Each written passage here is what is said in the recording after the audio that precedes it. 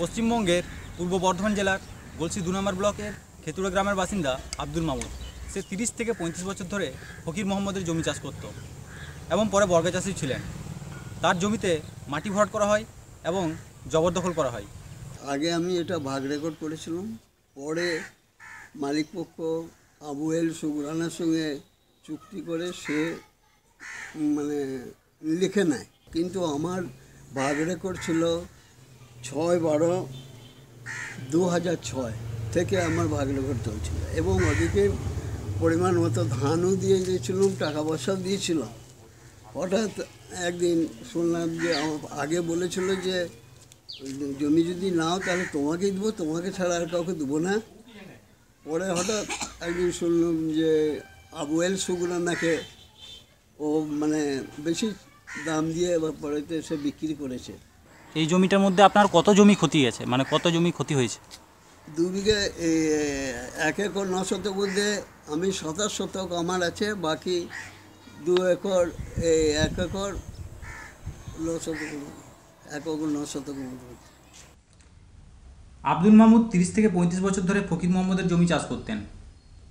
আব্দুল মাহমুদ মাত্র চার থেকে পাঁচ বিঘা জমি চাষ করেন এবং চাষের উপরে নির্ভর করে তাকে সংসার চালাতে হয়। দু সালে ফকির মোহাম্মদ সেই জমি সোনাচাঁদকে বিক্রি করার চেষ্টা করেন আব্দুল মাহমুদকে না জানিয়ে এবং সোনাচাঁদও আব্দুল মাহমুদের সই নকল করার চেষ্টা করেন। এখন সেই জমিতে সোনাচাঁদ জোর করে মাটি ভরাট করে এবং সেখানে গরুর হাটের ব্যবসা রমরমিয়ে চালাচ্ছে। আমি এই জ্ঞান হওয়া থেকেই দেখে আসছি যে মাবু চাচা জমিটা চাষ করে বা করে আসছিল। তা আমরা তো মানে আমরা জানি যে হ্যাঁ চাচারই জমি মানে মাবু চাচার জমি আর কি। তারপরে যখন এই ঝামে- ঝামেলা একটা সৃষ্টি হয়, তখন নাকি শোনা গেল যে এই মাবু চাচার এই জমিটা লয়, এটা অন্যজনের জমি। সেইটি এখন আমাদের গ্রামেরই এক একজন মানে কিনেছে। তারপরে এইটাকে নিয়ে একটা ঝামেলা সৃষ্টি হয়। তো ঝামেলা হওয়ার পর আমরা কি জানতে পারলাম যে চাচা এটা বর্গাদার মালিক।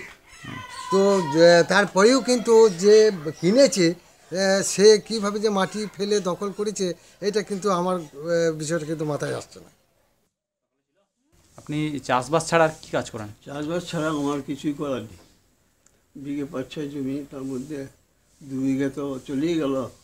তো এমনি তো মানে সংসারে খুব মানে ক্রাইসিস আর এই দু বিঘে ভূমি চলে গেলে তো আরও ক্রাইসিসও পড়তে হচ্ছে আমার যেভাবে চলছে সেইভাবে চালাচ্ছি।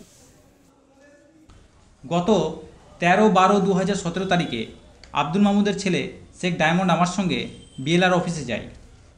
সেখানে বিএলআর অফিসার সুজিত পাঞ্জা মহাশয়ের সঙ্গে দেখা করি।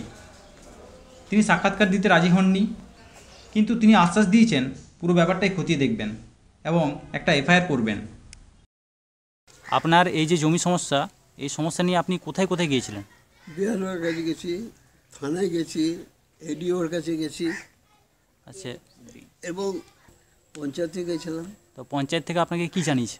পঞ্চায়েত বলল তোমরা তোমার কাগজপত্র সমস্ত নিয়ে এসো তারপরে দেখব সেটা আমরা একটা মিউচুয়াল করব।